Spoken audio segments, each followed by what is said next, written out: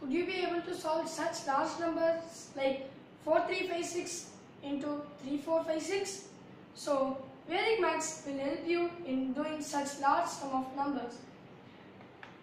Vedic Maths gets its name from the Vedas and the techniques are derived from the four Vedas.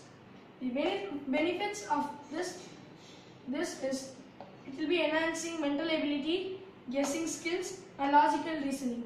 So the first chapter that we are going to see in Vedic Maths is the basic chapter that is complements.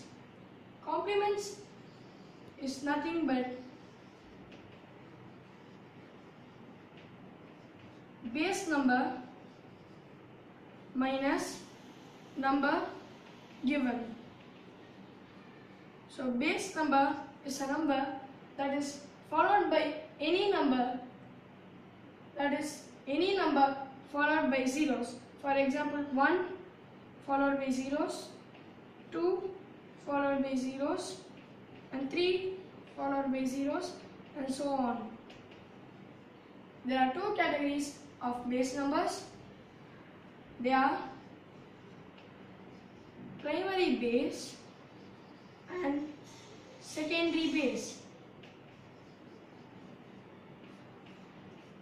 Primary base stands for 1 followed by several number of zeros or 1 zero. For example 10, 10,000, 100 and so on.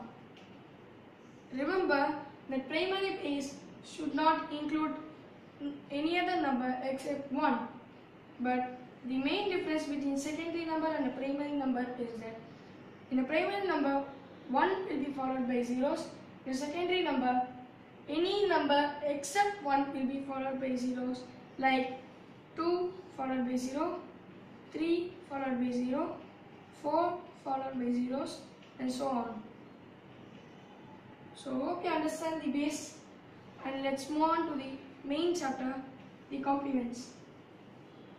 So there is a number given such as number 7 and you should be writing the complement for it. So the nearest base number to this is 10. 10 is a primary base and you should only take primary base numbers in this case as this is the first step in Vedic maths. So 10 minus the number given 7 gives us 3. So 10 minus 7 equals 3 and this is a complement for 7. Let's take another example such as 82. So the nearest base to this number is, can you guess it? Yes, absolutely right. This is 100 and the complement for this is 100 minus 82 that stands for 18. Uh, 18 is the complement for 82. Thank you.